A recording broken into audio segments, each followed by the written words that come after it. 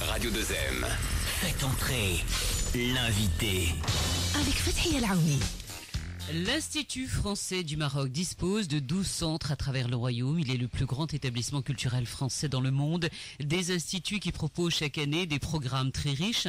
Et pour mieux communiquer sur ses activités, l'Institut français du Maroc a lancé récemment un nouveau site. Comment, d'un seul clic, être informé sur tous les événements des nombreux instituts culturels français du Maroc? C'est ce que propose la nouvelle plateforme if-maroc.org, un site qui fait entièrement peau neuve et qui se veut, dit-on, beaucoup plus accessible. Nous en parlons en détail ce matin avec le conseiller de coopération et d'action culturelle, directeur général de l'Institut français du Maroc, Jean-Marc Berton. Bonjour. Bonjour. Également avec nous, Charlotte, Charlotte Tertrais, responsable com et partenariat, qui a travaillé durement sur ce projet, j'ai envie de dire.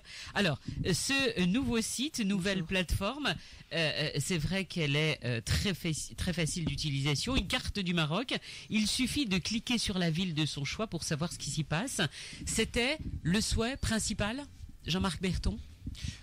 Oui, alors je vais laisser pas- parler euh, ma collègue Charlotte, qui, à qui on doit, avec son équipe, euh, Ce que ce dit, beau, ce beau résultat. ça, hein? Mais quelques mots quand même sur, euh, sur ce site.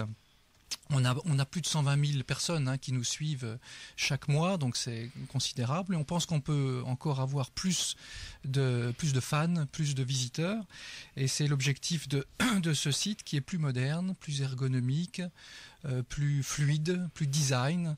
Euh, on peut accéder très vite, très facilement, de manière intuitive, à toutes les informations euh, qu'on souhaite euh, avoir sur l'Institut français, les cours de langue, les tests, les diplômes, l'actualité culturelle, euh, les études en France, les coopérations dans tous les dans tous les domaines.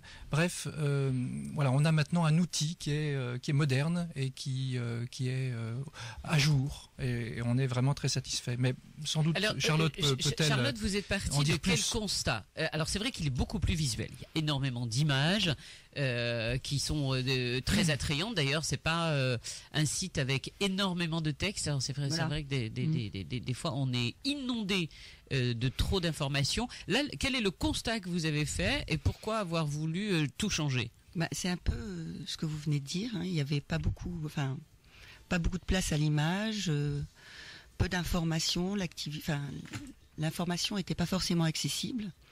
Pour remettre un petit peu, euh, Je vais vous demander juste de vous bien vous mettre devant pour remettre un petit peu les, les choses dans, dans le contexte, il faut savoir en fait qu'il existe une marque forte, une seule et marque forte, qui est l'Institut français, qui est pour l'ensemble des centres culturels et instituts français dans le monde. Et que récemment, il y a une modernisation de l'identité euh, visuelle de l'Institut français, qui est beaucoup plus un peu 2.0, euh, avec un nouvel système graphique qui est basé sur des pictodisciplines. Hein. donc euh, un système iconique Pictodiscipline. discipline, voilà, Oui. que vous allez retrouver un petit peu dans Oui. toutes euh, les supports de communication. Alors des pictodisciplines. Je vous pose la question. peux donner avant un qu'elle- exemple. Voilà, peut-être. à- à- à- Elle a avant qu'elle c'est arrive sur mon téléphone, c'est quoi cette chose Alors les pictodisciplines, en fait, euh, on, s'est inspiré des trois I du logotype Institut français. Donc tu as, là tu peux pas le voir visuellement, mais globalement euh, tu as euh, donc euh, trois les trois I de l'Institut français qui sont déclinés en pictodisciplines, qui sont des systèmes d'icônes qui représentent un peu toutes les disciplines où nous intervenons. Donc il y en a neuf. Je vais pas toutes les citer maintenant. Non, non, non. Voilà. Non. Mais euh, en tout cas, euh, on s'est inspiré euh, largement de, de cette charte dans la réflexion de notre site. C'est un peu les trois i qui prennent, euh, c'est un petit peu les trois i qui prennent la forme des différents, euh, des différents di... Non, je vais me perdre aussi. Oui, en, fait, on va, on va, on disciplines. va- On atteint les limites de la radio. C'est-à-dire C'est- c'est que, non, non, visuellement, juste visuellement pour le dire, 3 i, imaginez 3 i euh, à l'horizontale, euh, avec un i un petit peu surélevé. Ça fait trois barres, ça fait À la un clap, ça fait un clap et ça rappelle le cinéma. on, on va On, sortir a- des, on a- des- on des- atteint, les limites de la radio, il faut aller sur le site. Donc le site, le site, le Non, site voilà. s'inspire, Le site, le- s'inspire donc de cette charte. Et euh, vous allez les retrouver un petit peu parce que donc Un peu on- partout. un peu partout. Alors, je suis, euh, je, je, je suis à la recherche euh, d'un événement particulier. Je me trouve dans la ville de d'Agadir, par exemple.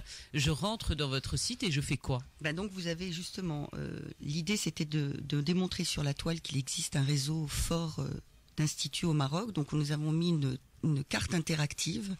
Quand vous rentrez dans le site, vous allez sur cette carte et vous cliquez sur une des 12 antennes où nous sommes, donc euh, les 12 villes euh, principales où, les instituts sont installés, et puis euh, vous arrivez directement sur une page où vous avez toutes les informations sur la programmation culturelle, linguistique, euh, de coopération de chaque institut. Voilà, il y a, il y a les, euh, il y a toutes les activités, mais il y a aussi les cours, les, Oui, les les- les cours de formations. langue. Jean-Marc Berton en parlait.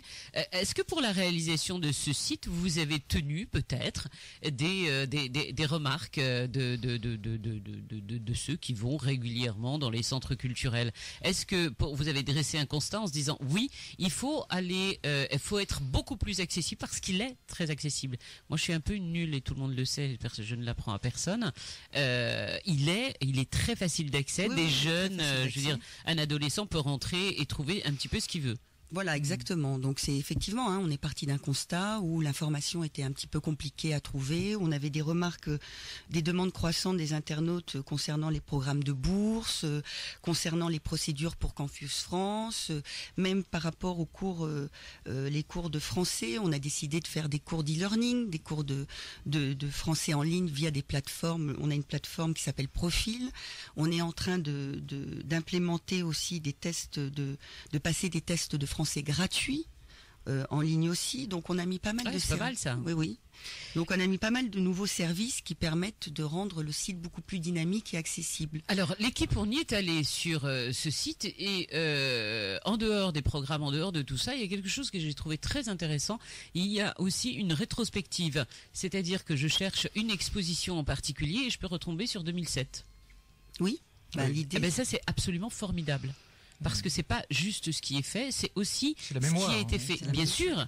Et, et, et- et là, il y a la rétrospective. On peut, moi, j'ai tapé juste un nom. Effectivement, j'ai retrouvé Mhm. que que l'exposition avait eu lieu euh, il y a euh, il y a euh, dix ans. Combien d'événements au total euh, les instituts français organisent par an? 800. 800. 800 événements à peu près. sur l'ensemble du réseau et une- je dirais qu'il y a une trentaine d'événements euh, majeurs, ceux que nous présentons dans le cadre de notre saison culturelle euh, chaque, euh, chaque année. Il y, a une, il y a une fonctionnalité qui est extrêmement intéressante, c'est le calendrier. Oui, L'agenda. Ça, ça, c'est vraiment une nouveauté, on est, on est content. L'internaute peut venir cliquer sur un jour, par exemple le 25 janvier, et il a euh, sous les yeux tous les événements organisés dans le réseau culturel français au Maroc ce 25 janvier, à Rabat, à Gadir, à Casablanca. Donc ça, c'est aussi très, très intéressant. C'est un peu écolo votre truc aussi? Ça Oui. évite euh, toute Ça la évite le papier, Ça, oui, à terme, c'est le but, parce qu'on Oui. édite beaucoup de, de brochures, beaucoup de, de flyers, d'affiches, justement pour communiquer un petit peu euh, sur toute notre programmation.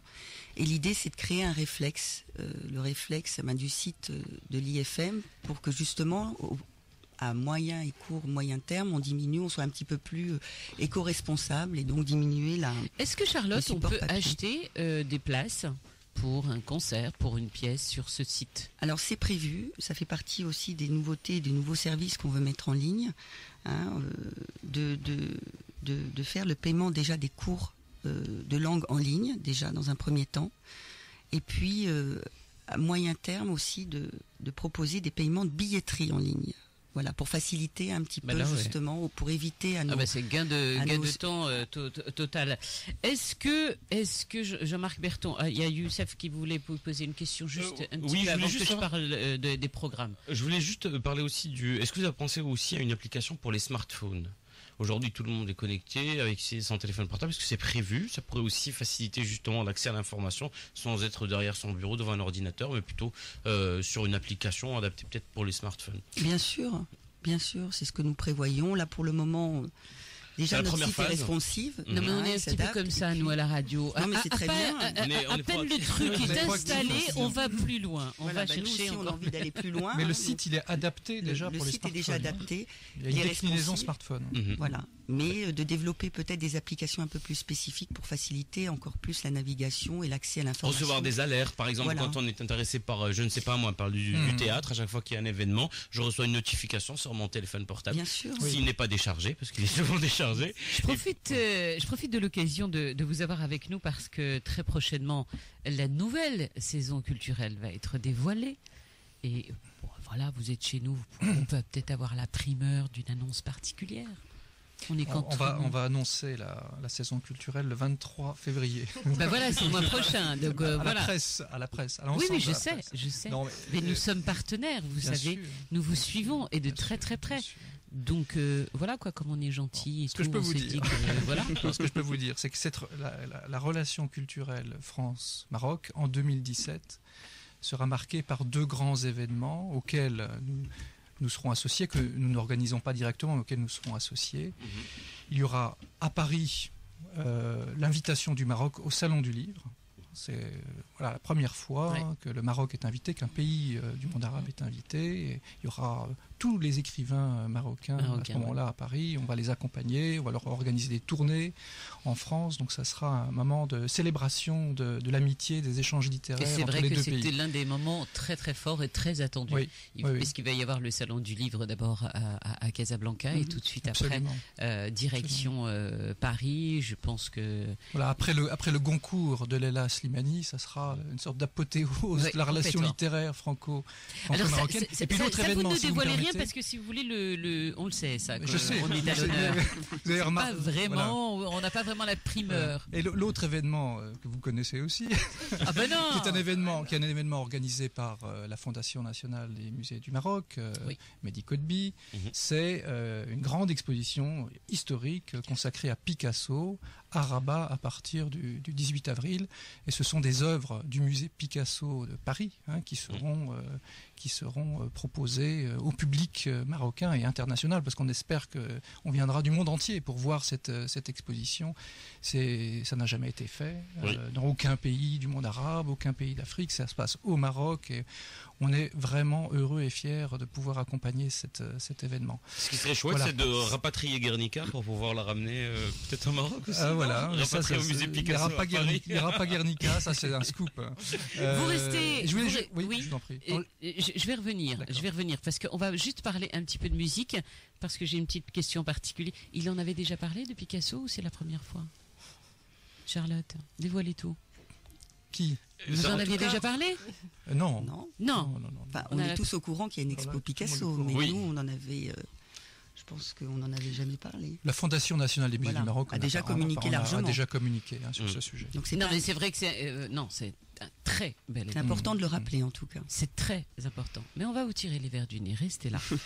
Ils sont là tous les matins pour vous réveiller dans la joie et la bonne humeur. Youssef, Fatia, Mouna, Mehdi et Mourad en direct sur Radio 2M. 8h34, toujours avec nos invités FTI et on continue de parler de culture. Exactement. Caroline Saunier parlait de tolérance, de paix, d'événements. Vous aussi, euh, Jean-Marc Berton, au sein des instituts français, vous aimez bien les débats d'idées avec un événement qui va avoir lieu demain. Oui, absolument. Alors c'est pas seulement au Maroc, c'est figurez-vous dans 40 pays et 50 villes. Ça s'appelle la Nuit des idées et euh, c'est une initiative de l'Institut français euh, Paris. Et euh, l'idée est simple, c'est de réunir des intellectuels, des philosophes, des artistes, des écrivains, des savants aussi, pour euh, discuter durant euh, toute une nuit. Alors ça, ça va commencer à, à Tokyo, à peu près 11 heures, heure de Rabat, demain. Ah oui, parce qu'il y a les décalages Ah, horaires. il y a le décalage horaire, et puis ça se terminera à Los Angeles, euh, euh, bien plus tard. Voilà. Et donc pendant toute une nuit, des, des débats sur un thème, euh, un monde commun. Et, et le- notre souhait, euh, c'est qu'on discute dans un monde où se multiplient les, les divisions, les conflits, qu'on discute sur les, les responsabilités communes et les responsabilités partagées. Alors chaque, dans chaque pays, dans chaque ville, on va euh, dis- enfin, trou- décliner hein, ce thème général d'une manière différente. Par exemple, à Qui est Marrakech. universel. En- Absolument. À Marrakech, par exemple, on va surtout parler de l'urgence climatique. Après la COP22 qui s'est déroulée dans cette ville, on va parler de l'avenir de la, la planète au moment où le constat du réchauffement n'est plus, euh, n'est plus vra- véritablement euh, contesté, sauf par un certain nombre de, de personnes. Euh, Des intervenants particuliers? et il y aura Edgar Morin.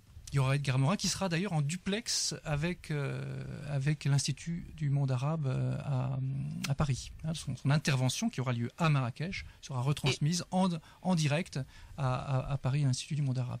Et puis il y aura également euh, Tétouan, euh, Tétouan qui, qui fera, l'Institut français de Tétouan, qui organisera un, un débat sur la notion de frontière. Voilà. Mm. Hein, Est-ce qu'on peut se passer de frontières? Est-ce que les frontières sont forcément des limites?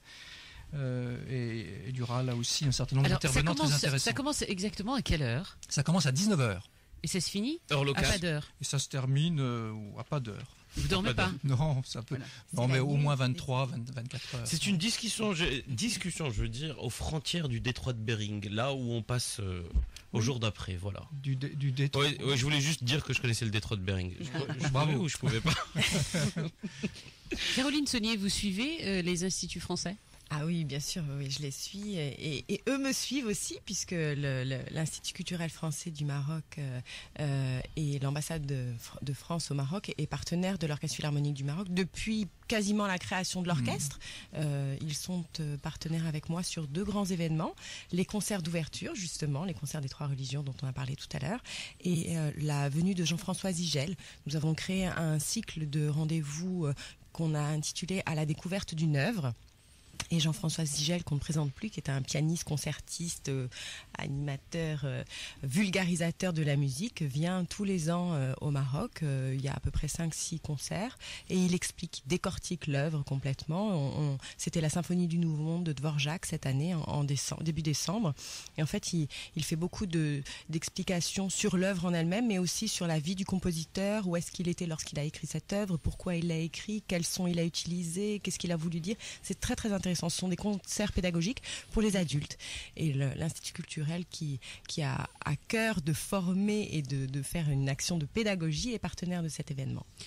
La musique a une place importante aussi hein, au sein des instituts français. Abs- Absolument. Et je voudrais rendre hommage euh, à Farid Ben Saïd, qui est à l'origine de cet orchestre, mais qui est un, un homme orchestre. À lui tout À lui seul. tout seul, puisqu'il Ah, est aussi. ça, euh, il aime pas ça. Il aime pas ça, mais je le dis. Il est chef d'entreprise, euh, directeur de- d'école.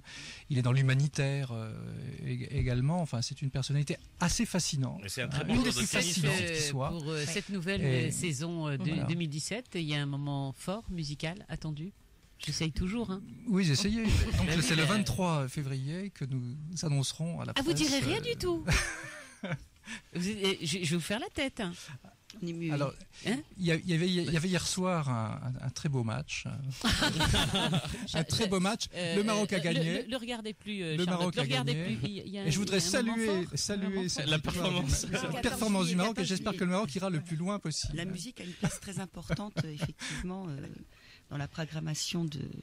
D'ailleurs, l'année dernière, hein, on va parler de 2016. On a fait, on est très nuit et on est musique. Il y a les, les nuits, La nuit euh, des, des- des la nuit des philosophes. la nuit des philosophes, et puis il y a les nuits du Ramadan aussi. oui, il y a des incontournables qui, voilà, qui reviennent, qui reviennent régulièrement et qui sont attendus. Donc, euh, il y a la nuit euh, qu'on a fait en, en la nuit électro aussi. Oui. Voilà. Allez, je vais dire une chose. Le 6 avril, c'est la journée internationale du sport, Voilà. Mhm. du développement et de la paix. Oui. Et euh, voilà, nous ferons un, un grand événement, une exposition sur euh, les valeurs de l'olympisme, Ah. et puis un, un grand, un grand colloque euh, entre Français et, Ma- et Marocains pour parler du développement du secteur du sport, la construction de grandes de- de- d'infrastructures, l'accueil de grands événements sportifs, le développement du sport de proximité, la sécurité euh, des, des événements. Euh, voilà, on souhaite vraiment que le, le Maroc euh, s'affirme dans ce dans ce domaine, et euh, donc on va on va on va beaucoup parler de ce sujet au- au- au- à ce moment-là. hein, Donc je retiens donc qu'il n'y a pas de concert pour la saison. Il y aura des 2017. concerts, bien sûr. Y a- Il y en a un ce soir. Alors, non, non, je, je- parce que bien évidemment, vous le savez, comme chaque année, et nous vous en parlons bien évidemment sur cette antenne, il y a euh, l'annonce de la saison culturelle des instituts français. Ce sera le 23 février, donc dès le 24, vous avez intérêt à être ici. Absolument. Voilà, on se retrouve le engage. 24 Je et on dira tout. Euh, Promis. Voilà. Caroline, ce soir, Oui, ce soir, c'est pas l'Orchestre Philharmonique du Maroc, mais c'est le Chœur Philharmonique du Maroc, qui est une, une formation euh, gérée par la Fondation Ténin pour la Culture, au même, au même titre que l'Orchestre Philharmonique du Maroc, par exemple, ou celui du Maghreb. Donc le Chœur Philharmonique a été créé il y a un peu plus d'un an maintenant, et il a pour objectif d'abord de permettre à l'Orchestre Philharmonique du Maroc de jouer des œuvres avec chœur, donc des œuvres de, d'élargir son répertoire, mais il se produit ce, soir euh, seul, c'est-à-dire avec une toute petite formation de Il y a 10 musiciens qui, l'accompagnent, donc vous allez avoir les 40 chanteurs. Ce soir, nous jouons à Casablanca, à l'église Notre-Dame, à partir de 20h30. On a joué à Rabat, euh, à guichet fermé samedi dernier. On a joué également à, à Meknes, à l'Institut culturel français d'ailleurs. Et on a joué hier à El Jadida. Voilà. 8h42. On, on y reviendra, on reviendra sur euh, les instituts français ben, tout à l'heure, même hein, dans l'agenda de, de, de, de Mouna. De Mouna, Oh. Et on reparlera bien sûr de l'EPM avec plein de petites surprises qui, euh, qui, se, qui se préparent. On en reparlera sur notre antenne. Et on Merci. découvrira le programme un peu comme tous les autres euh, journalistes. Voilà, on est un petit peu dépité, mais c'est pas grave. Euh, mais par contre, on sait que le 6 avril, il y a un grand événement autour du sport. On espère que la Coupe d'Afrique des Nations sera exposée aussi, celle qu'on va gagner, Inch'Allah. Merci beaucoup à nos invités. Merci, Merci à vous. Merci à vous. Merci. Euh, et puis on y revient très très très très très vite. Merci.